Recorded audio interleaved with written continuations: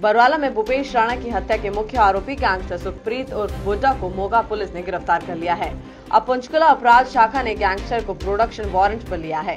मंगलवार को अदालत में पेश कर उसका तीन दिन का रिमांड पुलिस ने हासिल किया।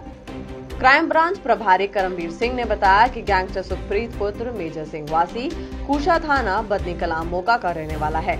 16 अप्रैल 2018 को बरवाला निवासी प्रतीक कुमार ने बताया था कि उसका बड़ा भाई भूपेश राणा जेल से पैरोल पर आया हुआ था।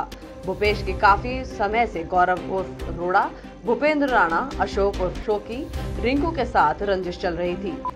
जो है आ, उसको गिरफ़्तार किया है। कौन है? किन किन मामलों में यह जो रोमानिया में रहता था तो, इंटरपोल की मदद से पंजाब पुलिस ने पकड़ा था। जो सकरूल जेल में बंद था।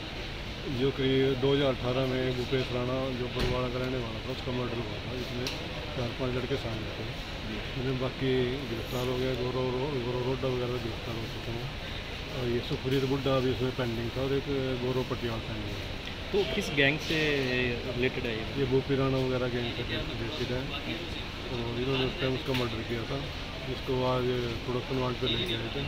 गिरफ़्तार करके शामिल तफ्तीश करके तीन दिन का रिमांड दिया। तो काफ़ी इस पर मामले भी दर्ज हैं। कितने हत्या और अन्य मामले जो दर्ज हैं? जो अब तक पता चला इसके नौ के करीब इस पर हत्या के मामले दर्ज हैं। लोग डकैती वगैरह के इसके करीब टोटल पच्चीस छब्बीस के करीब मामले दर्ज हैं। अभी कितने दिन का रिमांड लिया गया? क्या पूछताछ अभी तीन दिन का रिमांड लिया गया है। इसका बाकी एक गौरव पटियाला का साथी उसको गिरफ़्तार करना है, उसके बारे में पूछताछ की जाएगी। इसके बाद पिस्टल था वो कहाँ है, उसको पिस्टल रिकवर किया जाएगा और गाड़ी जो इसने यूज़ की जो टाइम में, उसको भी